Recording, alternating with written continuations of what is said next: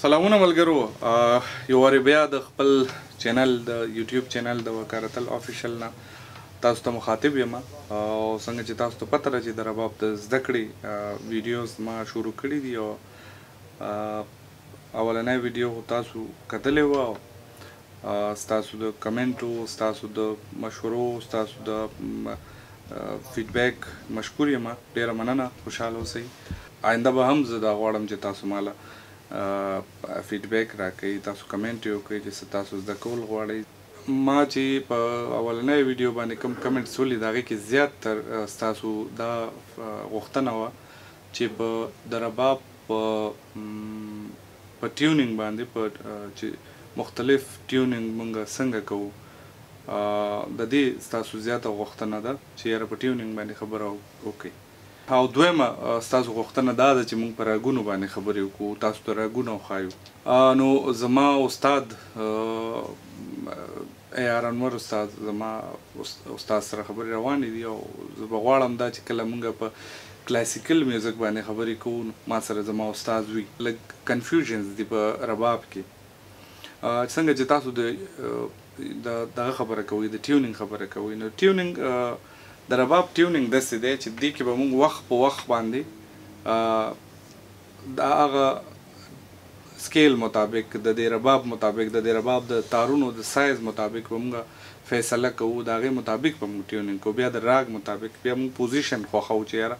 کوم پوزیشن موږ لپاره صحیح دی. نو ما خو تاسو ته ویلي وو چې په دې باندې به ډېر کار کوو، دا یو اوږد پروسس دی. داسې سازونه هم شته چې هغه فکس دي. د هغې ټیون افیکس دی یعنی څنګه چې ګیټار دی د ګیټار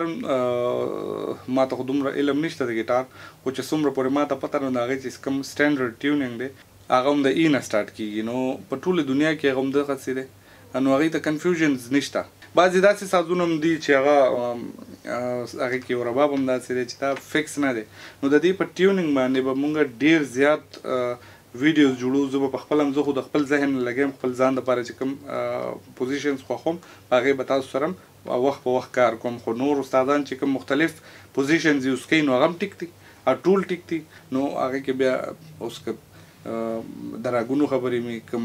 اوس که ماته پته وي چې دا بیروي نه ده نو هغه بیا زه بل شانتې ټیونینګ کوم نو په هغې باندې به وخت په وخت کار کوو دا یو اوږد دغه دی او زه چې ویډیو جوړوم نو تاسو ته به په کوم راګ کې چې دغه کوم ویډیو جوړوم نو انشاءالله هغه کې به تاسو ته د هغې مختلف پوزیشن زه مایم چې کوم پوزیشن ما ته ټیک ښکاري اوس ما سره چې دا کوم رباب دی د د دغه سایز ربابونه چې کوم دي نو دا په اف کې ټیون کیږي زما خپل خیال دا دی یا ایف یا زیات نه زیات که موږ ډیر دا بره ټیون کو نو جی او بعضی خلک یې ای ته هم رسوي نو هغه داسي چې د دې ټون ډیر زیات شارپ شي او سخت هم شي نو ایف یا جی زما په خیال د دې سایزونو رباب لپاره ټیک دی بیا غټ ربابونه که وي نو هغه به موږ بیس ملاوو نو هغه صحیح ده. نو دا خو د دې خبره شوه چې دا موږ په کوم پیچ باندې ټیون کو. بيا د د هر يو راګ يا د هر يو سکيل مطابق به مونږ د دې بيا دغه يو هغه ټيم يو فيصله کوو چې ياره کوم راګ د کوم سور نه يا د کوم پوزيشن نه اسان غږيږي مونږ هر څه چې غږوو هر راګ چې غږوو نو دې د پاره به مونږ اسان پوزيشن خوښوو اله به مونږ دې کې ښه کار کولی شو او زما خپل خیال داره چې هر هغه پوزیشن اسان دی چې کوم پوزیشن کې کولاو تارونه راځي یعنی اوپن سټرینګز مونږ یوز کوو یعنی اوس که مونږ د د دې اولنی تار نه د کټی کولاو کټی نه بیروی غږو چې تاسو دا وګورئ د سا نه مونږ شروع شو سا ورپسې ری ګا ما آزاد بم راغلو یعنی دویم تار سیکنډ سټرینګ اوپن بیا پا بیا دا نی نی بیا د موږ دریم تار کلا ورالو نو د دې زما خپل خیال دا دی چې دا په دې وجه د دې پوزیشن آسان دی چې دې کې ټول درې واړه تارونه چې کوم دی هغه کولاو یوز کیږي اوس که موږ دلته نه بیروی غږو نو ګوره دې کې ټول سرونه داسې شو چې هغه بند شو یعنی اوپن سټرنګ دې کې یو هم نشته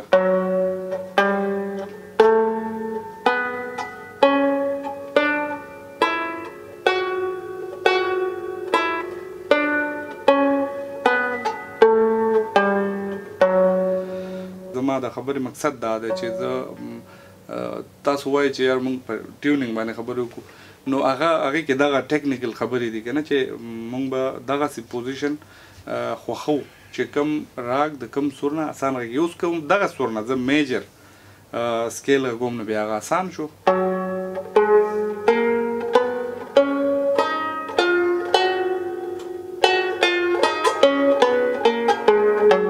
دلته پکې کلاه به مو مزاد رالو زیرم ازاد را.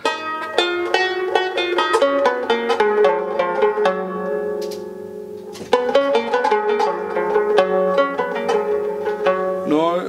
زما په خیال تاسو به په دې خبره باندې ښه په اسانۍ سره پوه شوي یئ چې د دې زما د خبرې مقصد څه دی یا مونږ داسې کوو چې مونږ کله کافي ټاټ غږو نو هغه مونږ بیا بیا هغې د پاره زیات تر استادان چې دي تاسو به هم چرته په دې باندې غور وکړئ چې هغې دې ازاد ځیر نه کافي ټاټ غږوي.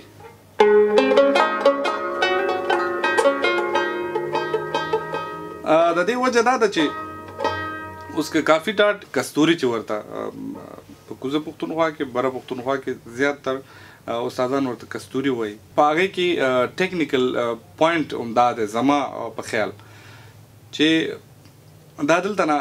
په دی وجه اسان غږیږی چی هماغه خبره راغله چی دل دی کی دری واړه تارونه اوپن یوز کیږی یعنی سا ری ری زمونږ دا رالو نو دا دا سور دغه فرټ او کټې تار اوپن دا یو دی نو سا ورپسې ازاد کټې رې شو ګا ما پا دا نی سا یعنی مونږ که د ازاد کټی نه بیروی غږو نو دا هماغه د بیروی نوټس دی. هغه چې مونږ که د کلاو زیر نه راشو د ازاد زیر نه هماغه سورونه مونږ یوز کوو خو ساه زمونږ زیر شي کلاو زیر نو هغه اسان پوزیشن شو بعضي استادان دي د دې سور نه زیات رباب غږوي میجر سکیل چې کوم دی نو هغه دلته نه اسان راځي بیا د د شاتارونو خبره تاسو کوئ چې یاره شاتار څنګه شاتارونه څنګه سور کو د هر راګ په دې باندې مختلف بیا خبرې کوو چې په کم راګ کې کم راګ مونږ غږو هغې کې وادي، سموادي سور کم یو دی. په بعضي راګونو کې سا ګا خوند کوي، بعضي کې سا ما خوند کوي، بعضي کې سا پا خوند کوي. نو هغه راګ حساب سره شاتار به مونږ ټیون کوو، هغه به مونږ وخت په وخت په ویډیوز کې کله چې مونږ د راګونو ویډیوز شروع کړو چې اول خو به مونږ په ټاټونو باندې کار کوو، په لس ټاټونو باندې چې دا د رباب کوم کمپوزیشن نه وغږوو او دا څنګه غږیږي یو یو راګ ډیر ډیټیل سره. ما خو تاسو ته ذکر وکړو چې ما سره به استاد وي استاد اې ار انور. د راګونو چې تاسو کومه غوښتنه ده په دې باندې مونږ خبرې وکړو. د پوزیشن خو ما تاسو ته وویل چې یاره پوزیشن څنګه په کار دی. وخت وخت سره چې مونږ کوم ټاټ کې یا کوم راګ کې ویډیو جوړو نو هغې به تاسو ته زه وایم چې دا دې دې پوزیشن نه اسان غږیږي او دې نه ښه غږیږي. باقي داسې ده چې اوس. پریکټس پورې ده څوک چې ډیر پریکټس کوي نو هغه ته بعضې مشکلات پوزیشن مشکل چې کوم پوزیشنز دي نو هغه هم هغوی ته اسان وي خو زما خپل دغه دا دی خپل خیال مې دا دی چې یو پوزیشن موږ اسان یوز کولی شو نو موږ مشکل ته ولې لاړ شو موږ داسې پوزیشن راواخلو چې هغې کې موږ ښکلی کار وکړو د رباب چې کوم خپل هنګ اهنګ دی هغه ترې وځي بیا اوس د د دې د د دې بچکو د تارونو تاسو ته زه خپل چې زه څنګه ټیونینګ کوم زما داسې وي عموما زه دا اولنی بچکی چې کوم دی دا کټي تار سره ملاوم بیا هم دغسې که زه بیروي غږوم خو دغه سرونو دغه دغه سرونو کې زما دغه ټیونې او دا اخري بچکی چې کوم دی نو دا یا زه په پا ملاوم یا په که کرج چې کوم سکیل دی هغه که ډیر بره نه وي نو دا زه په بیا په سا باندې میلاوم خو که سا زما ډیر زیات اوچت وي یعنی جی وي یا بل داسې سوري چې هغه ای وي نو بیا زه کوشش کوم دا پا باندې میلاوم نو دغه په بیروي کې ما ټیون کړ اوس که زه راځم کستوري ته یعنی کافي ټاټ ته نو په دې کې زما دوه داسې سورونه دي چې هغه بدل شو اولنی رې بل دها دا بیروی کې دغه نوټس لګي زما یعنی دې سره زما بچکی تارونه ملوي رې باندې دا او په دها باندې دلته په دریم فرټ باندې نو زه صرف دا دوه نوټس چې کوم دي دوه سټرینګز چې کوم دي دا د سټیل بچکي تارونه دا سره بدل کم یعنی دا دلته نه راواخلم دلته کم یعنی اوس ګوري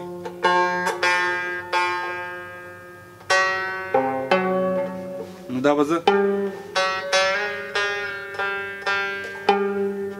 اوس دې کې ما ته فائدہ څه وشوه دی که دغه وشو چه ماته وخت بچت شو یعنی ګا چه کوم دی زما د بیروی د دی ځای نه ګا راځی د او چه که زه کستوریم غږوم نو ګا خو زما هم دغه دی نو دا په خپل ځای باندې ټیون دی ما هم دلته رالو پا هم دلته رالو اوس صرف دا نوټ چه دی دا دلته دی نو دا به زه بدل کړم دا به دلته راولم اوس آزاد زیر سره چې کوم ملو دا په خپل ځای پاتې شو دلته دا هم په خپل ځای پاتې شو سا والا ښه اوس څنګه چې دلته زما رې ما یو سور مخکې کونه دلته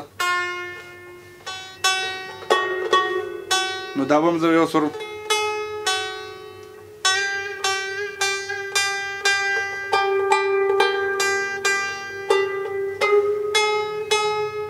دا دغه بچکې زما په خپل ځای پاتې شو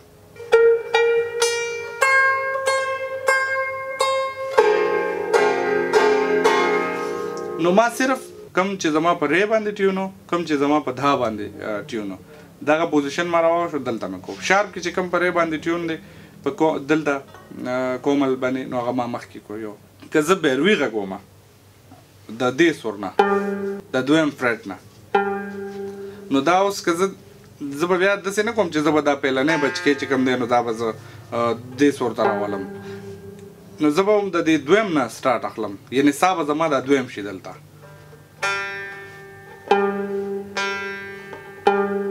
اوس ما په کستوري کې ضلع کې رباب ټیون کړی دی د آزاد کټینا ټیک شو خو که زه دې سور نه بیروي غږوم نو دا پکې هماغه سورونه راله دا هماغه سورونه دی چې کوم د کټینا پوزیشن نه کولاو کټینا زما د ضلع ټیوننګ راځي نو هغه ما دلته اوس که دلته مې زه بیډ وغږوم هماغه ټیوننګ ښه که زه اوس بالفرض زه پهاړي ټیون کوم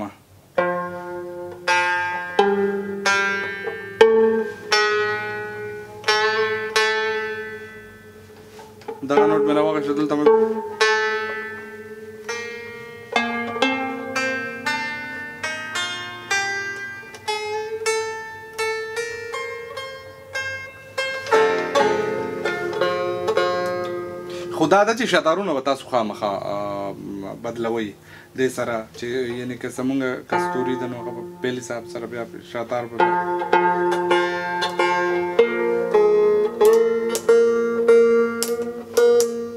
د چې کله زه لغه کوم نو بیا اولنې شا شاتار سا سره ټیون کوم بیا دویم شاتار چې کوم دی هغه ما سره ټیون کوم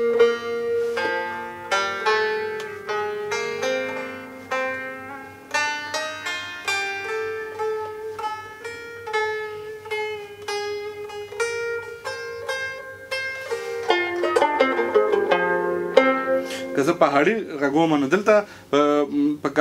په ضلع کې یعنی کستوري کې دغه فرق دی چې یعنی دلته ګا ګا سور به یو مخکې کو ټیک شو نو صرف چې دلته زمون کوم بچکی په ګا باندې دلته ملو دی دا به یو سور مخکې کو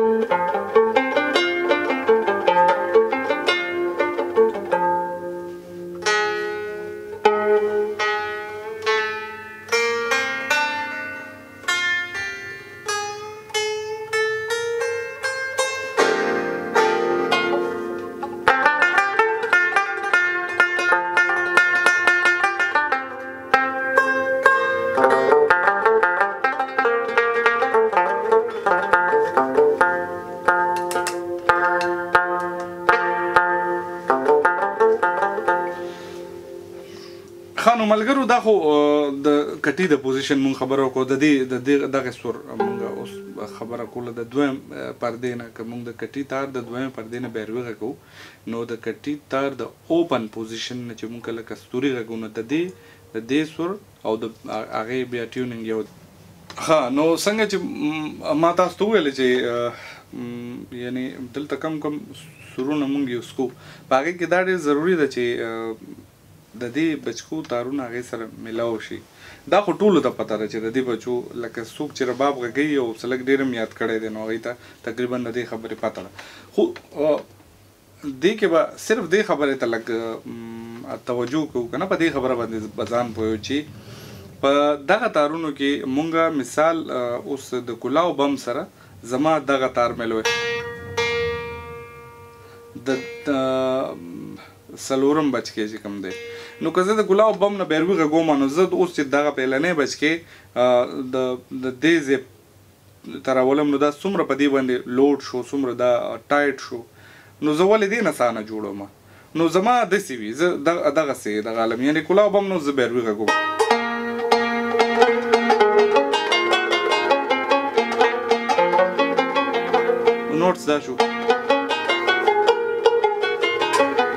دا زما نوټ شو نو زه به دې نه سا جوړ کوم ورپسې به دلته زما یو بچکی به مې لوی دغه د بم تار د دویمه پردې سره اب زه دلته پهله پردې تر دا به په خپل ځای پاتې شي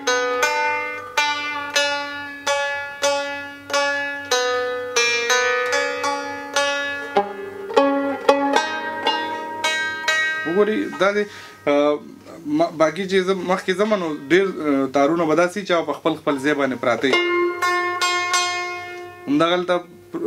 ټیون دی بیا دا وختي ما په کستوري کې ملو کړو ځکه دا په دې سور ملو دی نو دا به زه ته کوم که بیروي کې ټیونې نو دا به په دې خپل ځای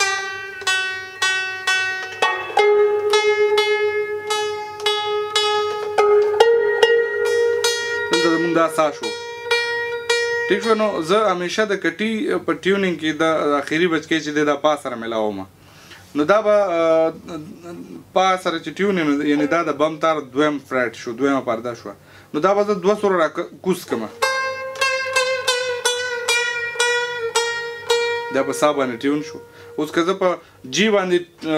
ټیونینګ ما کړی یو زه دا سا ته بوزم نو دا به جی ته ځي نو د دې باندې به لوډ زیاتی نو د دې د وجې زه اکثر کله په ما باندې ټیون کم او عموما خلک هم داسې کوي کله په پا باندې ټیون کم خو اوس زه لګیا یم د کولاو بم نه نو دا زما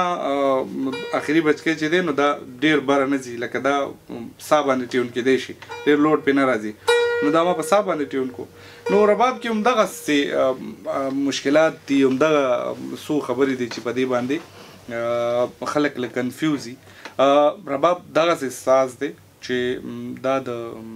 یعنې د دې ټیوننګ فکس نه دی تاسو به د رباب د سایز ته ګورئ د رباب د تارونو سایز ته به ګورئ تاسو به دې ته ګورئ چې موږ کوم راګ غږوو کوم راګ د کوم ځای نه غږوو خو کوشش دا وکړئ چې ځان له داسې د دې بچکو د ټیوننګ به دسی یو پوزیشن جوړوی چی تاسو یعنی اوس د د په کټ ما خو تاسو ته ویل چی په کټ کلاو کټی باندی زه کله بیروی ټیون کړم نو زه بیا دا بچکی دسی دی سره دسی دغه کوم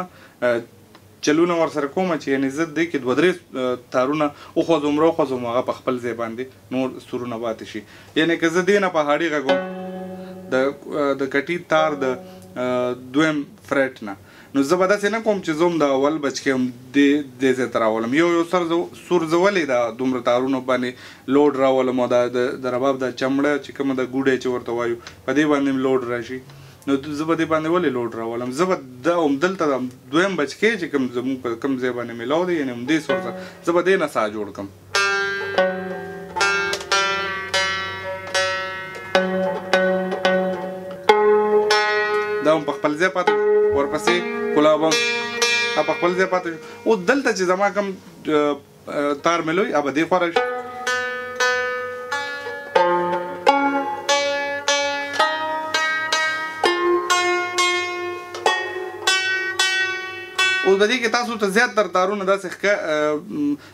داسې به ملاویږي چا به ټیوني په خپل ځای به پراته وي د هغې ټیکنیکل وجه دا ده چې ما دې نه ساه جوړ کړو یعنې د که دلته ما د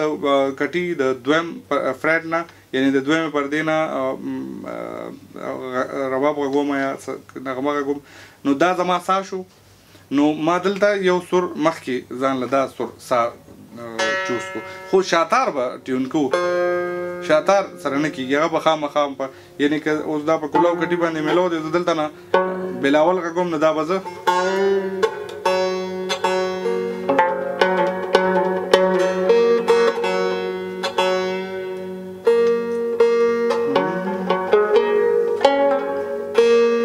او دې سره زما په ذهن کې سره پا خو خلګي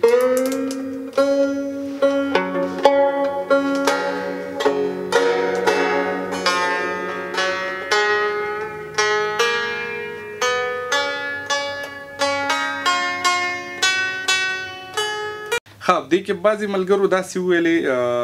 ماته کمنټس کې چې د شهباز د لاس د تیزولو لپاره څه وکړو نو زه به هغوی ته همدغه مشوره ورکوم چې د شهباز د د لاس د تیزولو یو دغه طریقه ده چې تاسو پریکټس زیات نه زیات وکړئ څومره چې دا لاس زیات یوز کیږي دومره به د دې سپیډ زیاتیږي اوس موږ سره خو انډرويډ موبايلونه دي او دې کې بلا داسې څيزونه دي چې مونږ مونږ دې نه ډېره ښه فايده اخستلی شو په په ما سره په موبايل کې يو ايپ دی ميټرونوم چې زما د اکيډمي هم کوم سټوډنټس دي نو هغوی ته هم زه ټول نه اول ميټرونوم سجيست کوم چې ته ميټرونوم سره پريکټس وکړه دغه په تاسو چی د ډاونلوډ کوی نو مټرونوم په نوم باندی به ډیر زیات اپس تاسو ته ملاویږی هغی کی ټول ټیک دی دغه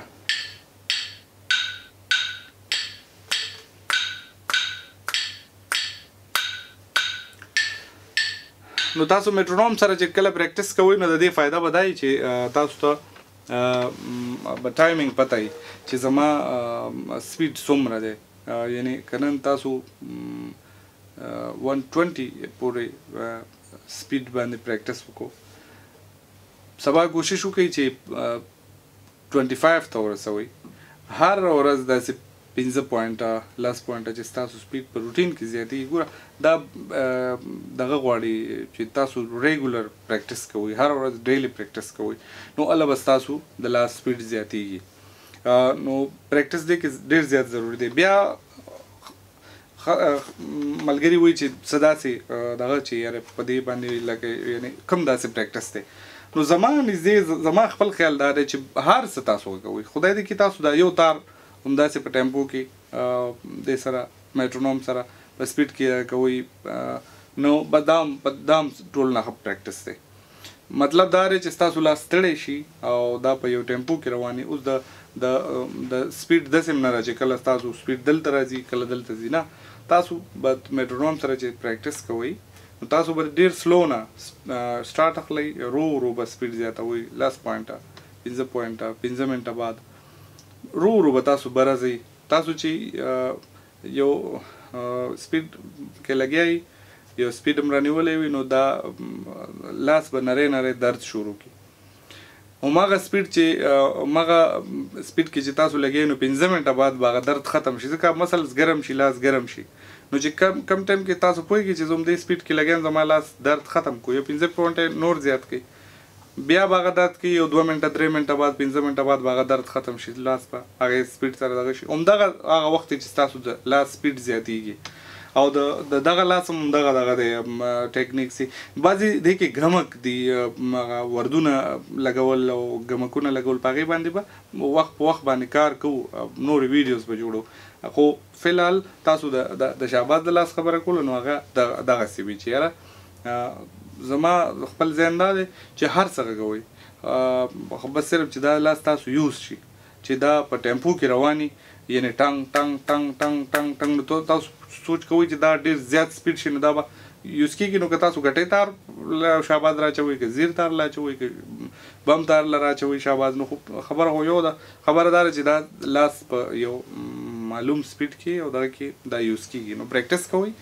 پرکټس سره دا ټولې مسلې په خپله حل کیږي. نو مونږ به